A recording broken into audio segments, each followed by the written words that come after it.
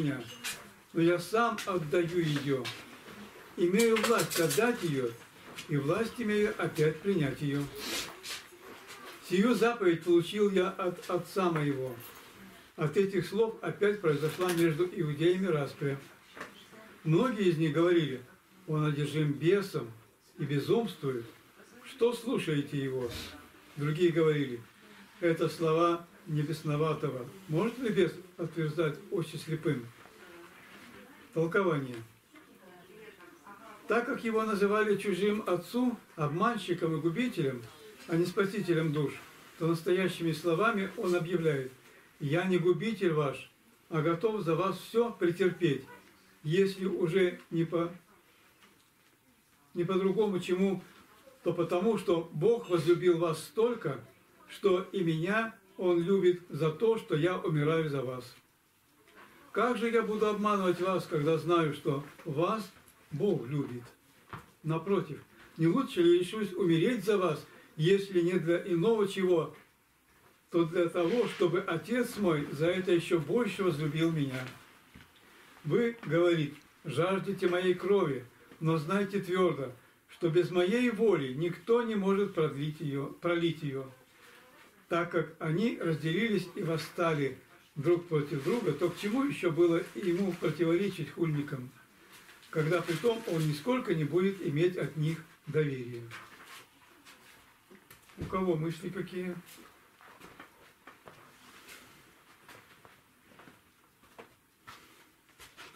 Но опять же, опять же, вот мы уже говорили неоднократно, что любовь, на которой в миру много, очень много, прямо лишнее даже много говорят, имея в виду совсем не то.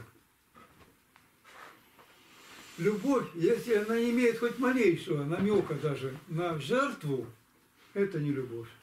Любовь всегда должна быть жертвенной. Даже в мирских понятиях должно это понимать. Вот они должны понимать это. Если я люблю тебя за это и за то. А за что? Да за то, что самое, может быть, и ненужное. За косметику. Люблю тебя. Или еще за что-нибудь. За то и за это. А когда ты проявляешь какую-то, ну, пусть даже самую малость, уступка в чем-то, или что-то какое-то ласковое слово сказал или в чем-то поддержал, ободрил, Слово Божие сказал, которое привлечет к спасению эту душу. Знаю, что ты можешь получить какой-то упрек или даже ненависть от этого человека, но ты это делаешь, приносишь жертву, в жертву свое благополучие, свое, какой-то свой какой-то авторитет. Вот это уже и есть жертвенность. И тогда ты проявляешь эту любовь к ближнему.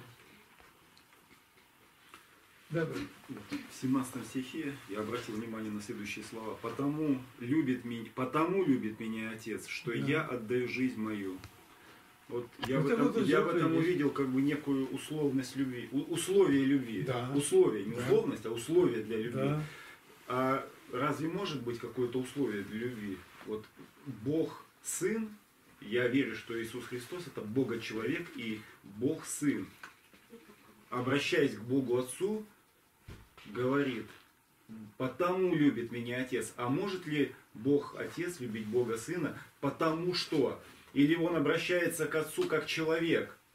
А теперь для любого человека, я делаю вывод, если как человек обращается, вот условность важна, условие.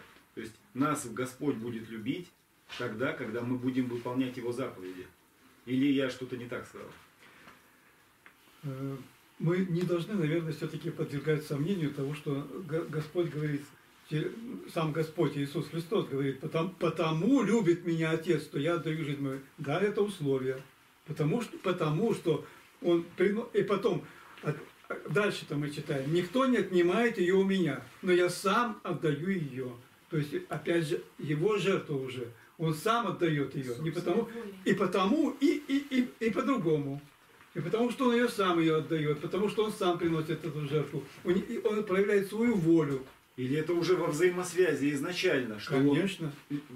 отдает свою волю, и Бог Конечно. уже знает, что Бог Сын Вот следующий дает. стих, он отвечает на твой вопрос потому.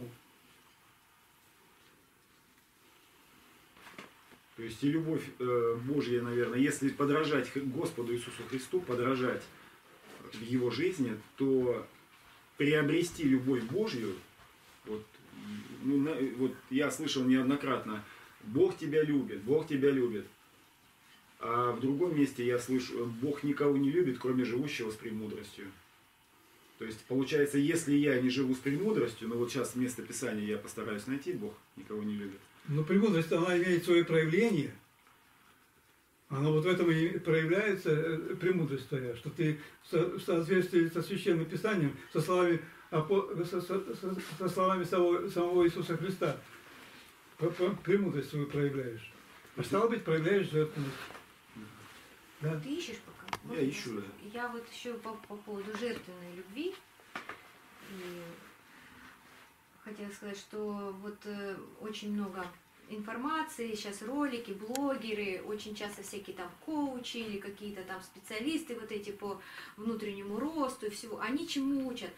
И так вот слушаешь, ну все правильно говорят, да, а потом ты поним- с христианской точки начинаешь смотреть, так они вот этому и учат, чтобы не было жертвенной любви. Все вокруг меня, Да, моего я. Все такие ролики трогательные, какой-то известный артист говорит, вот вы умрете, вот вас э, будут вспоминать ровно там 9 дней, там неделю, все, потом все про вас забудут, пойдут пить чай, смотреть комедии, все про вас забудут. Так стоит ли вам вообще об этих людях, окружающих вас, думать? Да стоит ли вообще о них заботиться, о мнении, какое они о вас? Ну, вывод такой, вот все вот это, наплюйте на всех, живите только ради себя, вообще никакой, то есть все антихристианское, нас Хрис- Христос учит, люби ближнего, ближнего как самого себя, а они все любят себя, там такие слова, наполняйте себя ресурсом, в себя, за себя, там всякие какие-то, да, нужно быть в теме, там какой-то, какие-то слова, я даже запомнить их не могу. И так действительно слушаешь, вот был бы, да, неверующий, думаешь, правильно, и там будет успех, и богатство будет, и там все, все, все, и ты таким будешь известным, богатым, потому что я себя люблю, я живу для себя, и вот кто вот этому аморальному состоянию всего этого Запада, и который вот к нам в том числе идет, ну тут упирается все-таки на православную, вот это наш генетический, как сейчас говорят, код православия, который вмонтирован даже в безбожниках, он есть, вот этого морали какой-то, нравственности. То есть он уперся здесь. А там оно и произошло, это разложение общества, аморальность это, потому что заповедь Божья, они все ее вывернули в обратную сторону. Ближних не надо любить, себя.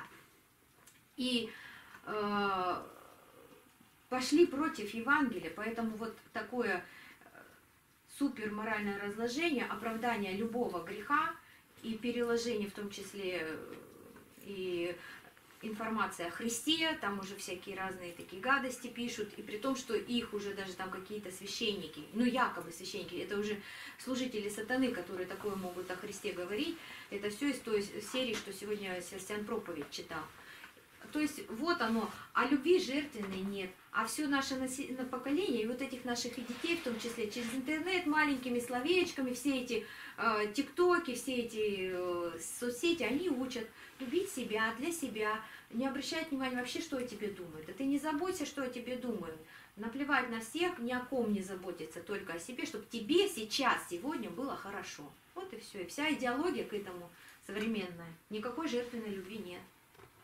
Э, Премудрость Соломона, 7 глава, 28 стих. Ибо Бог никого не любит, кроме живущего с премудростью.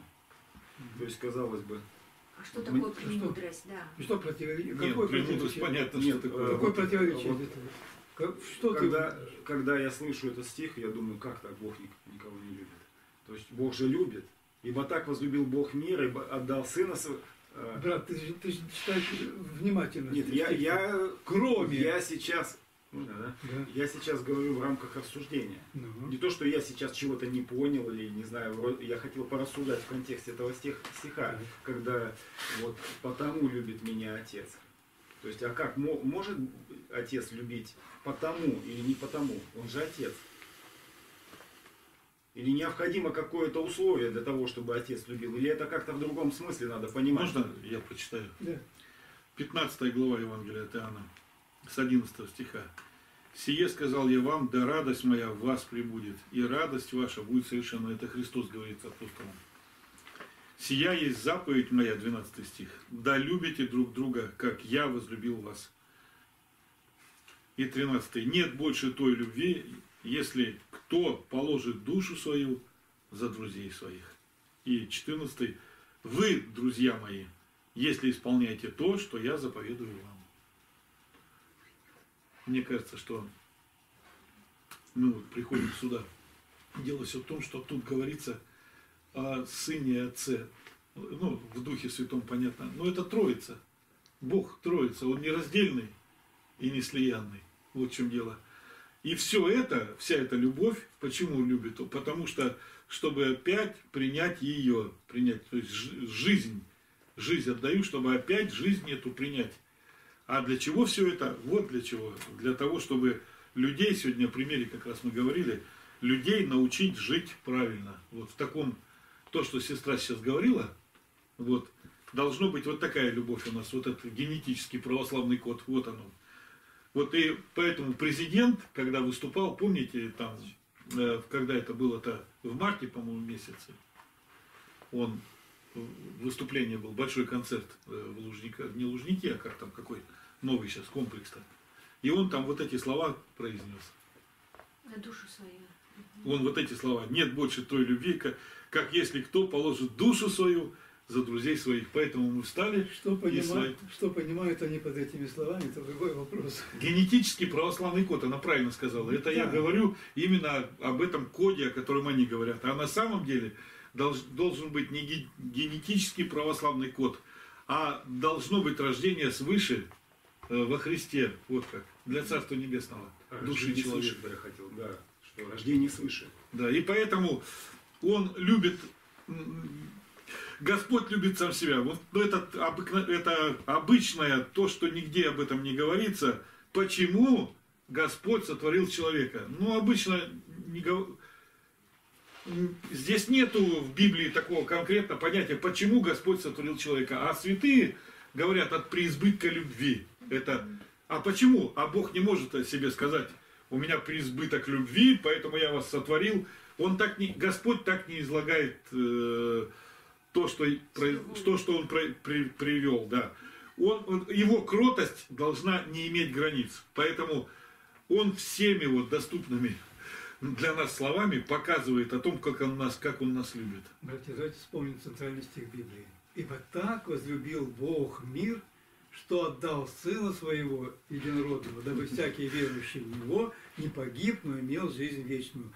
Вот она жертва Отца, Он приносит жертву Своего Сына.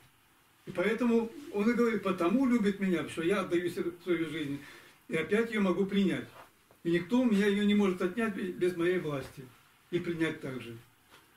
Тут все вот настолько взаимосвязано, поэтому это, это просто, даже я не знаю, никакого противоречия нет и каких-то под, как, э, подводных камней в, этом, в этих фразах, по-моему, не надо искать. Вот да. Евангелие от Иоанна, 15 глава, 14 стих, я, ну, сейчас было прочитано, я сейчас еще именно 14 стих прочитаю. Угу. Вы, друзья мои, если исполняете то, что я заповедую вам.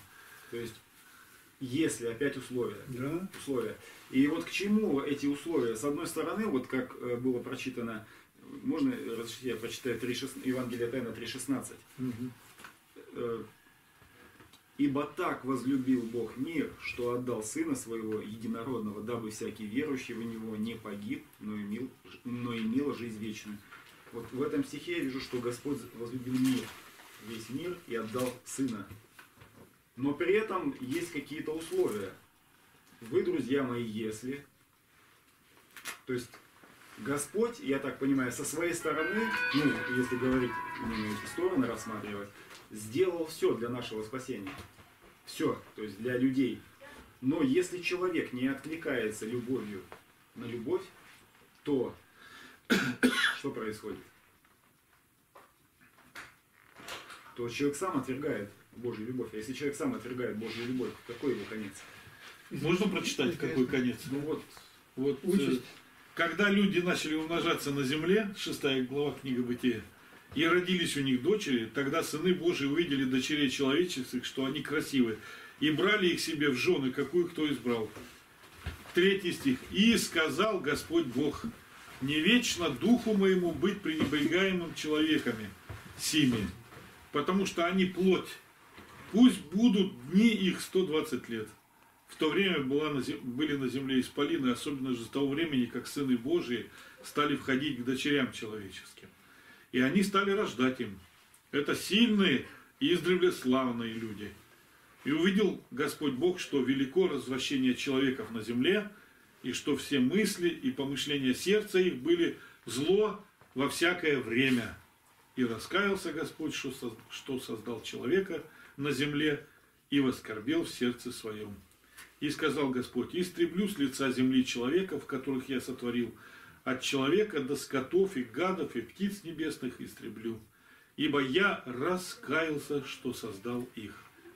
Ной же обрел благодать пред очами Господа Бога. И сказал Господь Бог Ною, конец всякой плоти пришел пред лице мое, ибо земля наполнилась от них злодеяниями, и вот я истреблю их с земли.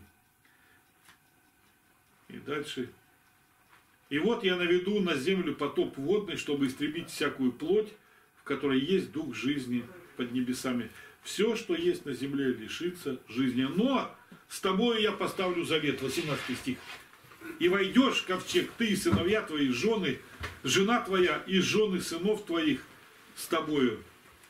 Введи также в ковчег из всякого скота, из всяких гадов и из всех животных, и от всякой плоти по паре, чтобы они остались с тобой в живых. Мужеского пола и женского пусть они будут. И птицы, присмыкающихся, а ты, 21 стих, ты же возьми себе всякой пищи, какую питаются, и собери к себе, и будет она для тебя и для них пищей. И сделал Ной все, как повелел ему Господь Бог. Так он и сделал. Вывод. Вывод, да, конечно, обязательно. Ну, я Ты- еще, я хотел сразу Ну, да, прочитаю, да, да, да. чтобы... Евангелие от Иоанна, 17 глава, 9 стих. «Я о них молю, не о всем мире молю, но о тех, которых Ты дал мне, потому что они Твои». Вот опять же, я хотел рассмотреть вопрос условия Божьей любви к людям. Оно без условия или все-таки есть условия?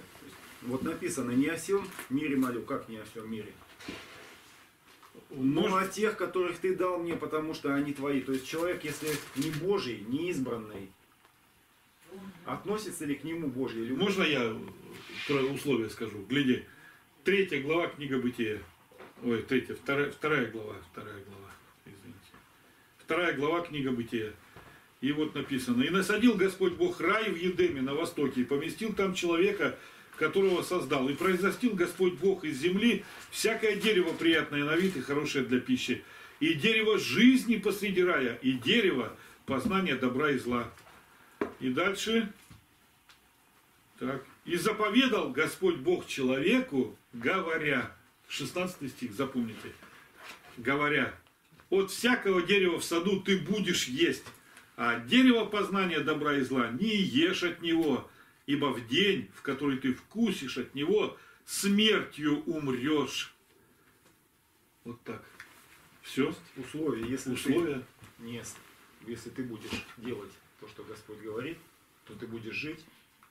Господь говорит, любит не грешников, а кающихся грешников. То есть грешников. Господь. Я хочу сказать- Пост заповедовал. Я хочу сказать здесь, ну как, как иногда методом от противного. Допустим, Господь э, не сказал бы о дереве, а, э, ну, за, а другую какую-то заповедь дал. Ну какую? Ну, допустим, тебе надо обойти за один там день э, вот, вот этот Эдемский сад вдоль забора, посмотреть, дырки там есть или нет. Или еще да, другую заповедь, допустим, там четыре реки выходят, вот, тебе нужно туда-сюда проплыть там, допустим, 50 раз эту реку переплыть. И тогда ты, ну, исполнишь мою заповедь. Ну, то есть еще там, допустим, камень какой-то лежит. Этот камень нужно перетащить он на расстояние 5 километров. Вот это тебе заповедь. Вот, вот все, что я сказал, это надо, ну, потрудиться прям физически быть крепким там и так далее. Господь дал самую, вот Не делай. ничего делать не надо вообще. Наоборот, не делай. Вот просто прошел мимо этого дерева. Ой, и все, больше ничего. Вот. Не делай. Можешь даже не пройти мимо дерева, а вот так лежать, просто на него глядеть и так о, вздохнуть даже. Ну, не, А не может, ничего делать не надо, даже не надо челюстями жевать. Помните ту э, анекдот про кота? Какой, говорит, ленивый кот самый? Помните? Да? Нет? Ну и последний там говорит, я такой ленивый, мне прям подставляют там ты и так далее. А другой говорит, а я, говорит, такой ленивый, такой ленивый, что вот ну, лег на собственные эти, ну то, что очень болит, и не могу встать, ору вот, а встать не могу, потому что лень. Вот ленивее некуда заповедь-то для человека. Господь, Он видит, кто такой человек-то. Он все сделал для нас, чтобы мы ее спокойно исполнили. И не смогли исполнить. Почему? Вот тут теперь другой разговор уже. Но это другой разговор. Но я скажу и почему. Потому что у нас свободная воля. Все. Только поэтому. И какой вывод можно сделать? Что Бог любит нас, С условием. Но условие присутствует какое? Исполнение его заповедей. Не то, чтобы Господь вообще отвергает всех, но Он принимает всех. Но есть как раз свобода выбора. Воля Божия есть, а есть воля человеческая. То есть, если бы воли человеческой не было, тогда бы разговора, может быть, и не было. Бог любит со своей стороны свое творение, и все совершается так, как Богу угодно, все хорошо, все правильно. Но вот тут вмешивается воля человеческая. То есть человек может соблюдать, а может и не соблюдать. И как тут здесь быть в этой ситуации? Ну вот тогда нужно условие. Чтобы ты соблюдал, вот есть одно требование. Если ты, вернее, если ты соблюдаешь, тебя ждет одно. Если ты не соблюдаешь, тебя ждет другое. Вот первое, вот я читаю, вот, допустим, я читаю Ветхий Завет, и примерно так я это вижу. Господь дает заповеди человеку, и если ты будешь исполнять, вот тебе будет то-то и то-то, будет хорошо. А если ты не будешь исполнять, я вот сегодня как раз утром на эту тему рассуждал, и вот э, о том, как бы идет определенный, я думаю, договор. А если не будешь исполнять, оно, казалось бы, может быть и понятно на первый взгляд, но все равно это какие-то условия. Но где же безусловная любовь Божия? Я, можно, да? Да. Я хотел сказать, что здесь разговор идет между отцом, беседа идет между отцом и сыном в Духе Святом. Идет бе- беседа. Человека тут нету. Дело все в том, что вот мы сейчас прочитали Бытие. Это первые какие-то... Началась история человека. Впервые все. Вот ничего не было еще. И нету никакого спасителя, ничего нету для человека. Вот, вот все начальное. И человек должен был в простоте просто все принять, поблагодарить и сказать, благодарю тебя, дорогой отец, я все понял, дай мне сил исполнить все это, потому что без тебя я не могу творить ничего. Все, вот чем должно закончиться. Человек, мы видим, никого не благодарит, потому что следующее, если я проч- сейчас прочту дальше, следующее, вот это любовь Божия, гляди, 18 стих, вот тоже я закончил глядь как 17. А от дерева познания добра и зла не ешь от него, ибо в день, в который ты вкусишь от него, смертью умрешь. И 18 стих. И сказал Господь Бог, нехорошо быть человеку одному, сотворим ему пом- помощника соответственно ему. Тут а лю- заканчивается смертью умрешь, и вдруг Помощник. э, плохо быть человеку. И это любовь называется, понимаешь? Любви. Тут о любви идет разговор, идет о любви. И человек должен это оценить. Гляди, как он оценил, этот человек.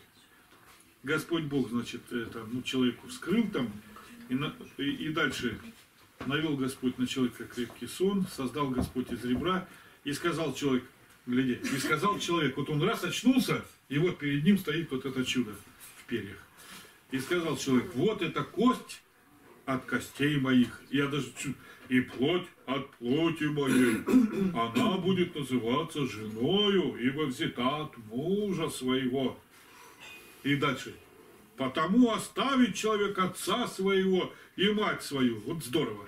И прилепится к жене своей. И будут два, одна плоть. Понимаешь? О чем ты говоришь, безобразник? Тебе, вот, ты бестолковка просто. Вот сейчас ювенальная институция, дети должны сами о себе что-то заботиться. В этой вообще, друг, шести лет они могут менять пол. Это о чем речь-то? Тут Адам, совершенный человек, и он не понимает, что сделать нужно было. Нужно было Бога полюбить, Отца своего полюбить надо было. Благодарить Его на коленях. Благодарю Тебя, Отец. Да мне Тебя хватало, зачем ты мне вот это чудо такое прекрасное еще сотворил-то? Зачем? Зачем? А благодарности никакой нету. Это кость от костей, плоть. А я покину отца, мать. А что сразу покину? Вспомните, как раньше на Руси жили. Дом, э, старший сын, там, средний, младший был ду- дурак. Это все сказки. Они все вместе, младший, средний, старший, там еще было за ними 20 детей. Собрались, и вот женился старший. Ему раз дом сделали, за один день дом делали, за один день дом ставили. Сруб. Представляете? Почему? Да толпа народу налетели, сделали какой? И дом-то небольшой. О чем это говорит? Да, пятиха, пятистенка называлась. То есть четыре и посередине разделяется, там печка посередине. А для чего все это? Чтобы была забота только о детях. О детях забота, чтобы дети все вместе росли. Понимаешь? Чтобы они все рядышком были друг от друга. Как Игнатий Тихонович говорит, это батюшка говорит, а, а только у, у старшего, у Игната, у Игнатки э, валенки, а у нас-то нету ничего. А Игнатий Тихонович говорит, а у меня там, э, сколько ему там, 10 лет было, от лепешки к лепешке корове перебегал в школу. Лепешки коровье. Коровы идут, покакали утречком, а он в школу бежит утром. И он бежит, в лепешку наступает, она теплая еще, потому что изнутри коровы вышла. А корова имеет температуру 39 градусов, хорошую. И он погрелся в этих и побежал дальше. И, и не жалуется, и вместе дружно жили там. То есть Господь это делает для того, чтобы мы любовь приобрели. Мы не можем любовь с вами приобрести. Вы не любите меня. Вы не ходите на мои занятия сюда вот, с нами вместе. Виктора Андреевича не слушаете, э, нашего брата Игоря не слушаете, Третьякова. И поэтому братья, вот, брат, он, слава Богу, остался, Валера, мир тебе, брат, и дому твоему. Да пускай дочка твоя вернется к нам, Господи, помоги. Да помоги, Господи. Для этого надо трудиться, вы понимаете, трудиться, чтобы полюбить. Вон она какая веселая, радостная, но у нее любви нету. Это просто э, внутренняя взбалмошность. Я больше Акили не верю. Она вот всегда серьезная. И, возможно, она увидит что-то во мне и полюбит меня. И при- будет оставаться всегда на занятиях и говорит, папочка. И все. Я сказал, папочке, дядя Игорь там занятия приглашает. И ты, вот так вот должно быть. Это любовь. А нету этого, нету благодарности Богу. Адам не благодарил Бога за то, что он сотворил. Не благодарил за то, что он дал ему помощницу, соответствующую, соответствующую ему. Не, не Адам придумал это. Он просто с кислой физиономией сидел в аду. Вот и все. Давай. Ну, то, что кислая физиономия не благодарил, я с этим не могу согласиться, во-первых, потому что здесь не такого не видно из текста. Я специально прочитал, Конечно, как не видно. Адам э, относился. Э, просто здесь вот, ну и не то, что он не благодарил. Ну где написано, что он не благодарил? Во-первых, что он не благодарил. Ну вот тут написано, нигде не благодарит. Ты же сам сказал, я все прочел и не увидел нигде, где он, то, где он То, благодарил. он благодарит, но то, что он не благодарил, тут тоже не написано. Да. Вот. Здесь как? Иска, значит, я хотел прочитать вот именно как по тексту. Давай, очень интересно. Никто еще не возмущался. 2 глава, 18 стих. «И сказал Господь Бог, нехорошо быть человеку одному. Сотворим ему помощника, соответственного ему». Но тут не, не Адам решает, кто кого творить. То есть перед этим Господь сотворил мир, сотворил человека, а теперь Господь творит ему помощника. И сказал Господь Бог, нехорошо быть человеку одному. Не Адам, Господи, э, говорит, э, что я один, что-то не так. А Господь это делает сам. И дальше. А Госп- а по- э, человек это воспринимает. Он не сказал, о, что это такое? Он не возмущается. Он и не возмущается, ну, то, чтобы не благодарить, а, а нужно ли было его тогда благодарить, когда он уже был в единении с Богом? Он творение Божие. Было ли у него понятие, что надо благодарить или не благодарить, или он просто как ребенок принимал, как данность и все. И вот сам факт, что он, и на, ну вот тут написано 21 стих, «И навел Господь Бог на человека крепкий сон, и когда он уснул, он взял одну из, реб- из ребер его и закрыл то место плотью». Дальше. А, И сказал человек, вот эта кость от костей моих, это 23 стих, и сказал человек, вот эта кость от костей моих и плоть от плоти моей, она будет называться женой, ибо взята от мужа своего. Но он не, ска- он не возмущался. Просто он принял как от Бога, данность. Дальше читай. Дальше. Да. 24 стих. «Потому оставит человек отца своего и мать свою, прилепится к жене своей, и будут два одна плоть. И были оба ноги Адам и жена его, и не стыдились». Что тут не так? Они еще не согрешили. А если они не согрешили, у них не было понятия вот кислого лица, неблагодарность, благодарность. Они были в раю, то есть у них А не было... матери отца-то у них нет, кого они оставляли. Ну, Наверное, потом. Вопрос в том, что Чьи это Это слова? будущее поколение. Ну, это слова Господа, что Ну, оставили. Конечно. Я хот- хотел обратить внимание, что еще грехопадения не было. Не было. Вот это кислое лицо, неблагодарность. Что такое неблагодарность? Можно ли это назвать грехом неблагодарность? Я это считаю грехом. Отношу к греху. Но тогда не было еще греха. Тогда еще была полная святость. Может быть, где-то там, вот я не хотел бы углубляться, в зачатках, где-то там, вот во глубине воли человеческой, но вот данный момент еще они не изданы Израиля. Как он может быть с кислым лицом? Поясни. Или покайся, что а у него не было кислого лица. Это в раю, это еще не было изгнания. Не дождешься. Есть мысли, Надежда? Еще не было изгнания из рая, еще не было грехопадения. Но Ну, тут мы не слышим ни слов благодарности, ни слов неблагодарности. Тут как бы Ну, из а этого непонятно. Да. Очень грустно, да? Ну а тот факт, что они в раю еще не изгнаны, это Ну. как раз только начинается.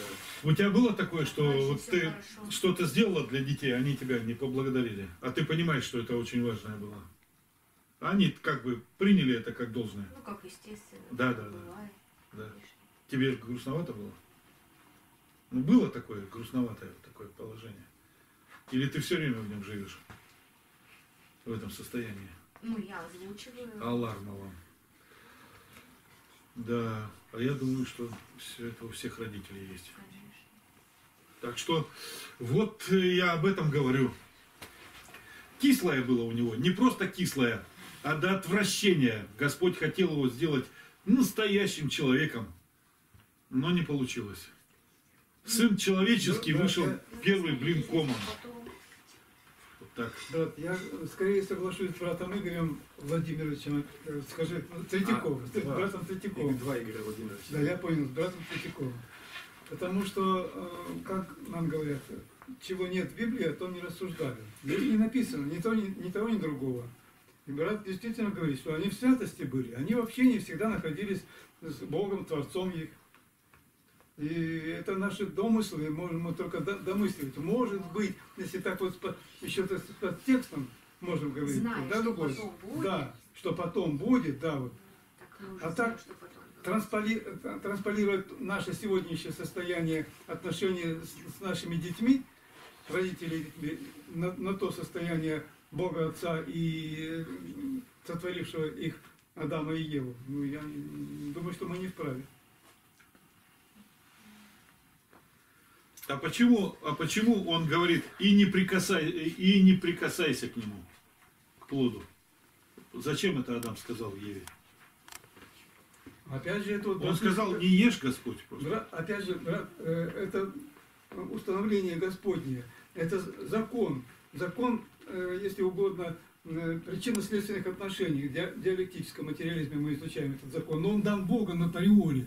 И вы ему нужно подвиж- под- ему подчиняться или не подчиняться. Также он это и есть проявление воли Господней и, и одновременно дар без самый бесценный, самый ужасный дар от Бога.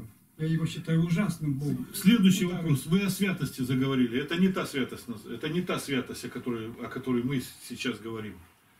А Это не та А святость. что не было святости, они не были святы? Нет, конечно. Почему это не были святы-то? Ну, Потому что они не были освящены Христом еще. Они были просто сотворены, были чисты. Ну, как, какая святость? О чем вы Ну, говорите? чистые и Бог святые одновременно. святыми их сразу. Так Потому что Бог и святый, творение святого не было. Христос на тот момент еще и не был. Творение его За- свято было. Зачем, зачем а, а, Ева начала разговаривать? По какой причине? Чего ей не хватало? Со змеем. И вообще, как змей мог появиться на ее пути? Можно? я скажу? Мы, наверное, зашли в глубокую тему. Мы можем оттуда уже без каких-то повреждений не выйти. Поэтому предлагаю закончить, да? Дальше. Вот. Я о любви, видишь, говорил. Я А хотел, э, я- хотел показать, что не хватило Адаму любви этой самой не хватило Господу показать. А кто может показать любовь Господу? Э, Сын человеческий с большой буквы. Иисус Христос. То есть Господь вот эту свою любовь, Он ее здесь нам показывает, свою любовь. Вот это то, что говорят преизбыток любви. А апостол Павел это говорит о расширенном сердце, о широком сердце своем, в которое он всех, кому благовествует, кого видит, он принимает. А Христос принимает вообще всех. Поэтому воля Божья в том, чтобы все спаслись и в разум истины пришли. Все. А апостол Павел не мог этого о себе сказать. Только те, с кем он соприкасается, он мог об этом. А все там где-то, ну, это воля Божья просто. Это воля Божья. Все должны, все спаситесь. Все вот можете спастись. Я вот единственное, ну, я хотел именно взаимосвязь, если мы уже начали говорить о книге Бытие и о заповеди, то к вопросу, для чего Господь даровал эту заповедь людям святым, находящимся, я считаю, что они были святые, они были в раю. Вот. Но при этом для чего Господь им даровал эту заповедь, я выскажу такое мнение, что именно доказательство любви. То есть Бог любит свое творение, творение любит Бога, но у творения свобода воли все равно присутствует. И вот для того, чтобы постоянное было как бы некое доказательство любви, проявление воли человека на подчинение Богу, вот дается такая заповедь, которую я считаю очень простая. Не надо не ходить, ничего не надо делать, просто не ешь. Можешь даже забыть об этом дереве. Вот где-то есть, ну есть что-то. Но помни, что нельзя вот это дерево. Но не забывай именно, что нельзя есть. А так просто не надо думать. И вот во взаимосвязи стихом, не знаю, это взаимосвязь законная, незаконная с точки зрения смысла. Но вот когда, потому, лю- се- 17, э, далее 17 стиха, потому любит меня Отец, что я отдаю жизнь мою, чтобы опять принять ее, никто не отнимает ее у меня. Но я сам отдаю ее, имею власть отдать ее, и власть имею опять принять ее. То есть свобода выбора. Я имею возможность такую и возможность другую. Но я ее отдаю добровольно, добровольно подчиняю свою волю, подчиняется воля Христа, воля Отца. И Бог, Отец, любит Христа. Потому любит меня Отец, что я отдаю жизнь мою. Вот. То есть никто не отнимает ее у меня, но я сам отдаю ее. То есть добровольное подчинение Богу. Какие мысли? Ну, еще нужно сказать, что Бог так как раз любит не, э, весь мир. Он любит весь мир и потому приносит жертву. То есть это уже обусловлено. И вот единство человека и Бога, я думаю, в том и проявляется, когда человек добровольно, без насилия принимает эту любовь. И вот этот союз любви, он и происходит именно в добровольном принятии Божьей любви. Ну, даже больше сказать, не, не просто так принятие любви Божией, а когда Он свою вот эту божественную, вот этот дар, который Господь, Господь дал каждому человеку, этот ужасный и бесценный дар, воля Его у каждом человеке заложена. Когда Он эту волю приносит опять, возвращает к, к Творцу своему и Спасителю, вот тогда соединение про- происходит человека с Богом. Тогда он обожествляется. Но, по- но соединение, вот, э, вот подчиниться можно было бы так сказать. Ну хорошо, я верю, что Господь меня сотворил, я верю, что Он меня любит. Ну я просто Его тоже люблю. Но здесь доказательство любви Христа Отцу идет через жертву. То есть не просто Он подчинился, да, я люблю, но тут написано, я отдаю жизнь мою, чтобы опять принять ее. То есть, ну вот представьте, как вот, как доказать человеку, что он его любит, что мы любим А- а- Бога. опять, же, жертва. Здесь идет через жертву. Вот Э, а Адаму а нужно че- было просто не есть и все. А, человек- уже а человеку ну, нужно тоже принести жертву. Когда Вот. человек сопрягает волю своей с божественной волей, тогда он невольно должен принести что-то в жертву, чтобы любовь была его деятельной, а не просто на слова, как ты сейчас так легко сказал. Ну да, я люблю, а вот, э, а, Но живу, как, не- а живу как, а, а живу, буду жить как, как, как все живут. Я как пример привел. Ну, понятно. то, что я... Поэтому мы приносим жертву, ну в жертву, это смешная жертва, по сравнению с той, что, которую мы имеем от Господа. Мы имеем спасение, вечность, вечную жизнь блаженную. А наша жертва в чем заключается? Да, в том, чтобы нас ставили отца или мать, которые неверующие, или друзей, которые неверующие, которые нас тянут в погибель. Это смешная жертва, но мы ее должны все принести. Смешная по, по- Это для вас сейчас она смешная. В отношении, ну понятно, Для, что- не, для многих, для Да. большинства, сколько я разговаривал, что друзей оставить. Он у нас напротив постоянно А вот собирается. они. а я, я из своего примера Под скажу, деревом. что, я понял, что нужно, а, так сказать, всем друзьям, которые были вокруг меня, так же, как и Иван Тихонович, я благовествовал. Э, Не, ну, буквально единицы из них, они пришли к Богу, они пришли на занятия. Они были на занятиях, кто-то после занятий, даже после первого занятия, все отпал. А некоторые остались, и они ходят в храм. То есть, ну, я не могу сказать, что они, они, вер- они верующие, но такие, как верующие, как все вот, верующие.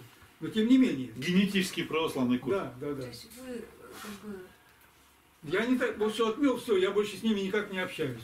Нет, я каждому из них, практически каждому из них. самостоятельно прошла сортировка после Да, того, как да, они сами, да, я засвидетельствовал, они вот стало. один налево, другой направо. Евре- Да. Послание к евреям, 13 глава, 16 стих. По-моему, регулярно, наверное, вы приводите Да, места Писания. Не забывайте также благотворение и общительность, ибо таковые жертвы благоугодны Богу. То есть, ну, я думаю, что общительность в данном случае рассматривается как жертва Богу. Конечно. А в чем жертва-то? Общаться, ну, ты же не отдаешь тело свое на сожжение, ничего-то не происходит. Просто Опять, общение. опять же смешная жертва. Смешная жертва, что у меня там э, цветы, как сказал, брат, поливать надо идти, или еще куда-то там спешить надо. Ну что спешить тут? И время 9 часов, а мы уже все разбежались. То есть получается, что если мы, э, ну, при- я верю, что это жертва, принимаем как жертву, но только жертва такая какая-то необычная. Вот. Получается, если я это делаю, я уже этим доказываю, да, наверное, свою любовь. Жертва в Тому- чем, брат? В чем жертва? Ты что не, до- не, не договариваешься? Пожалуйста, я не договорю. Что такое семья? Почему семья? Вот от слова семья. Всем понятное слово. Потому что они живут вместе. Семья. С- Семь таких, как я. То есть ты родил себя, клонировал, и вот сидят восемь человек. Ты восьмой, и семеро вот здесь по лавкам. Семья называется. Вот так перевод такой. Как вариант.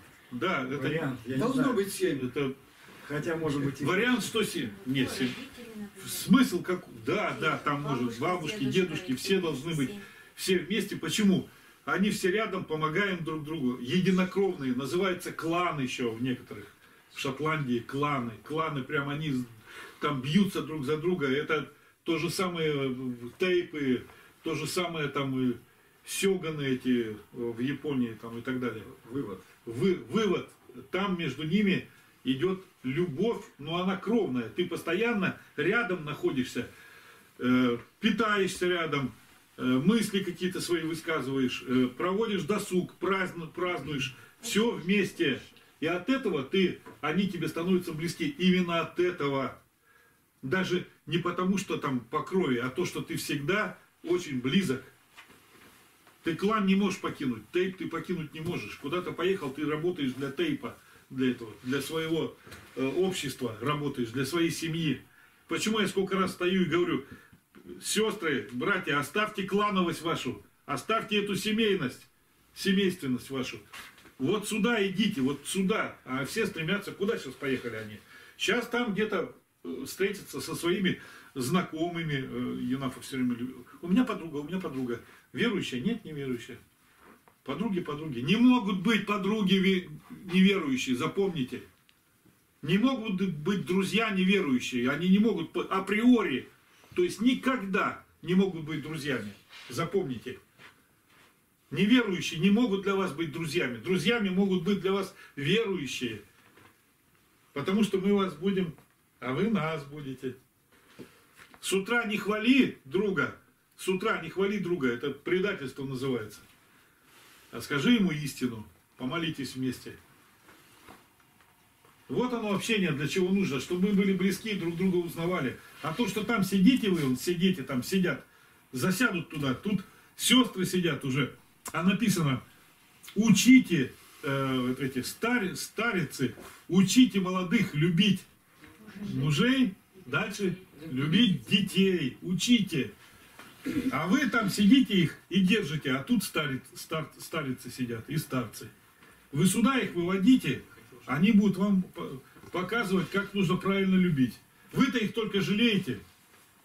Как, как у меня родила э, песенька, карамелька, э, девчонку сейчас, милашка назвали. Ее тронуть нельзя, эту милашку. Вот она, ну, пописает в комнате. Марина начинает ее толкать, что потом за дверь. Это нападает на нее собак, э, карамелька, мама. Прыгает вот так прям лапами. И так, и так вот прям, не надо, не трогай ее, это мое дитя. Зачем ты его? Э, Просто говоря, она начинает строго говорить, ах ты такая, это сейчас я... И все. Это что это? Ну ладно, песенька, она не понимает всего до конца, что воспитание идет. Она сама, кстати, была так, только не было мамочки у нее, тоже защищала, видать. И вот мамочки тоже, как вот пташки. А Господь говорит, сколько раз Иерусалим я пытался собрать тебя, как курочка собирает своих цыплят под крылышками, и вы не согласились. Бог должен собирать цыплят своих. Вот оно общение. Мне мысль, вопрос такая вот все время приходит в голову. Если бы Авраам Исаака не, не готов был принести в жертву, послал бы Бог Сына Своего Иисуса Христа человечеству для спасения или нет? Он проверял как бы человечество в лице Авраама, на готов ли человек принести такую жертву для Бога, насколько он его любит. Вопрос? Что, да, вот мне мысль... рассуждение. В рассуждение, да. Было ли это как проверка человечества? Так оно и написано, что это так и было. И- Так, э, человечество или Авраама непосредственно проверка? Ну, И, и от того, ну, если бы Авраам эту проверку не прошел, человека. было бы пришествие Да. Христа. Как это взаимосвязано? Ну да, ну, Вот если бы Авраам, ну, предположим, это какая-то другая реальность, не библейская, но если бы он, предположим, не прошел эту проверку, что Христос бы тогда не явил, не пришел в мир? Я не знаю. Ну, вот видишь.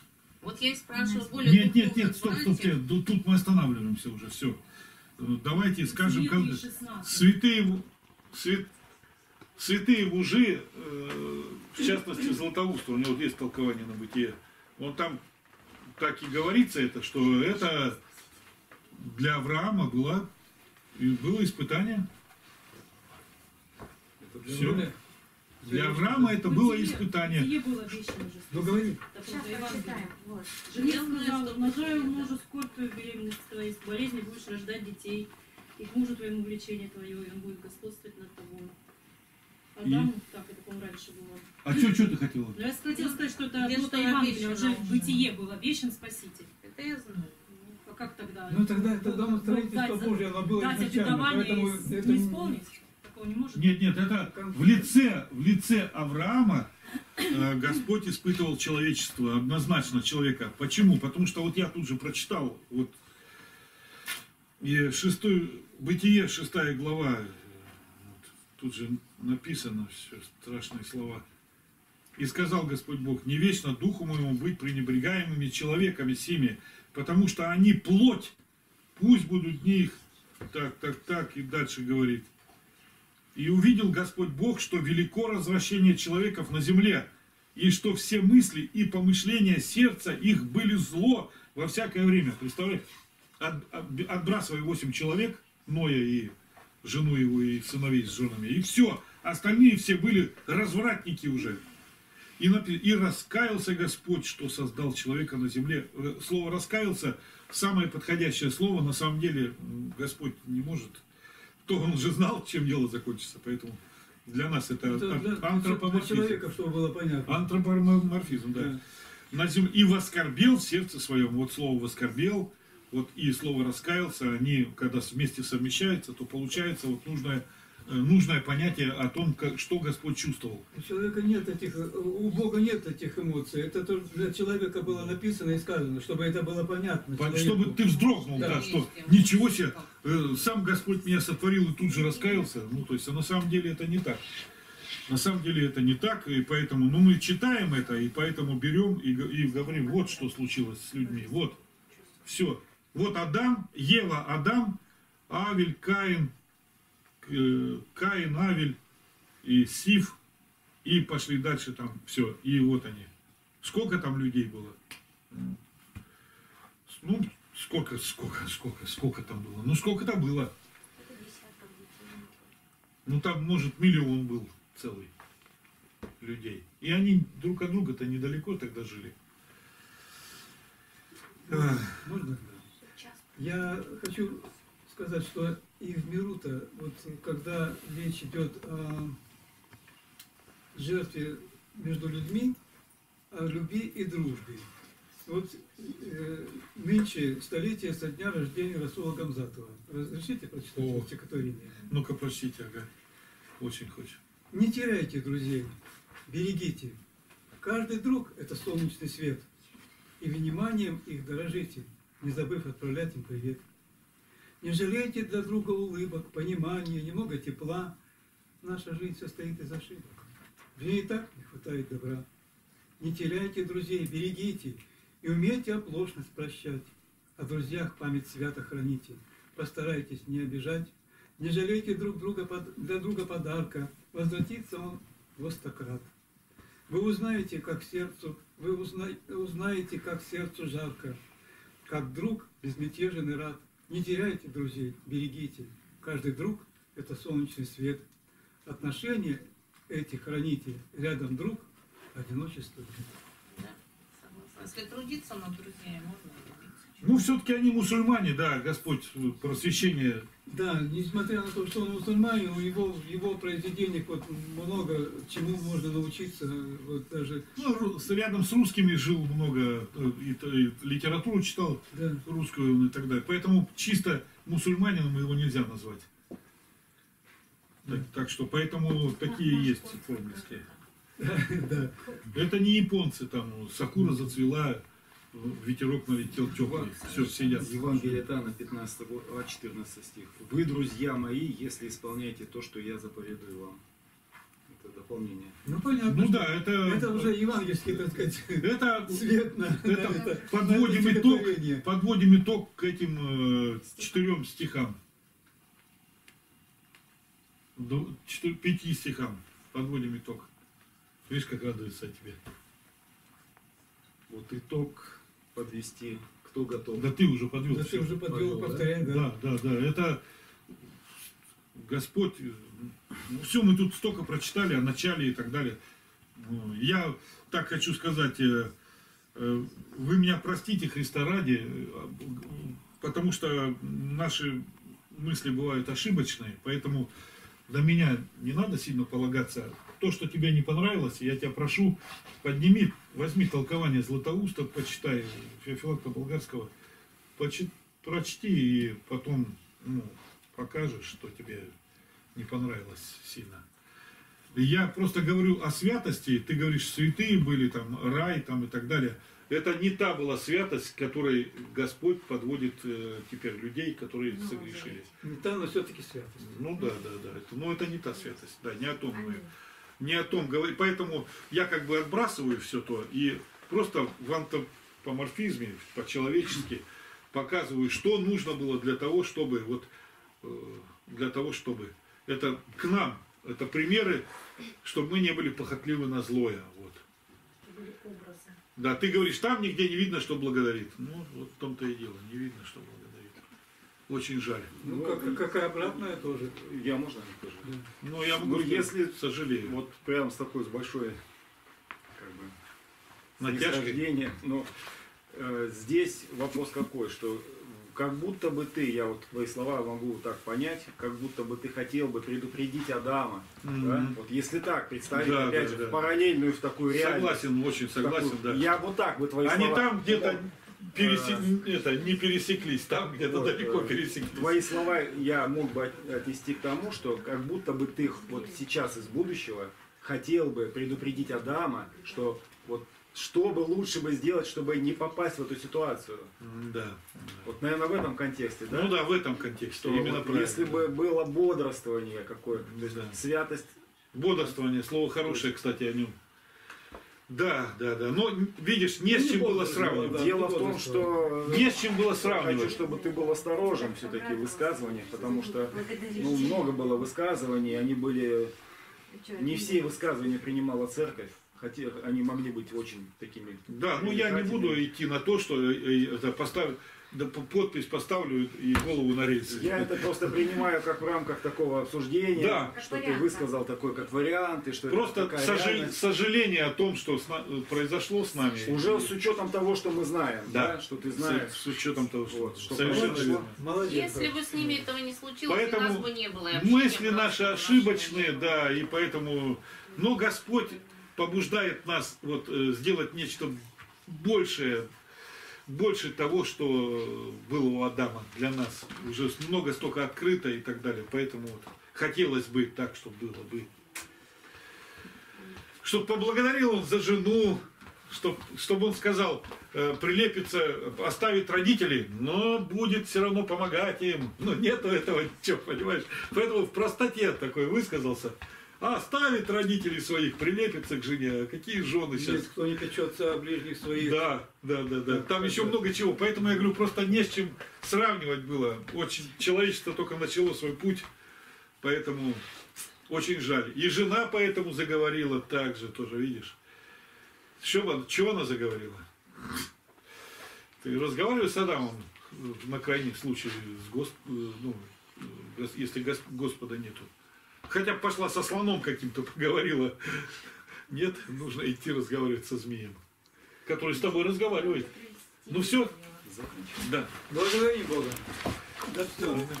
Есть всякого истину, блажите тебя, Богородицу, пресноблаженную и пренепорочную, и Матерь Бога нашего, честнейшую Херувим, и славнейшую без сравнения Серафим, без истрения Бога Слова родшую, сущую Богородицу Тебя величаем.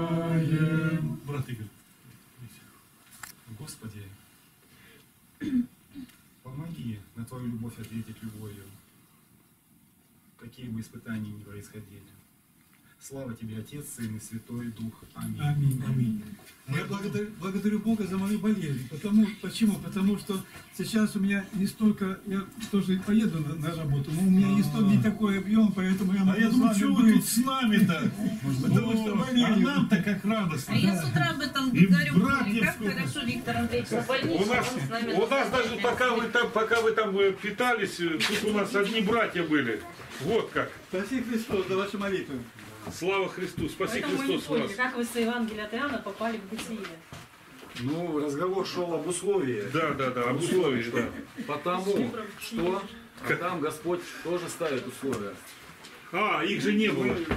Я никак не чувствую удовлетворенность, что-то не раскрытое осталось, но это нам надо в следующее занятие. Да ты что тут раскрывать это? Не Это надо готовить. Это надо прям где-то сидеть, готовиться не одному даже, я Что считаю. вот об условии, хотел сказать об единстве человека и Бога. Но это такая тема, вот, что должна быть единство в святости. Единство в святости должна быть, а не просто. И вот это А это условие, эти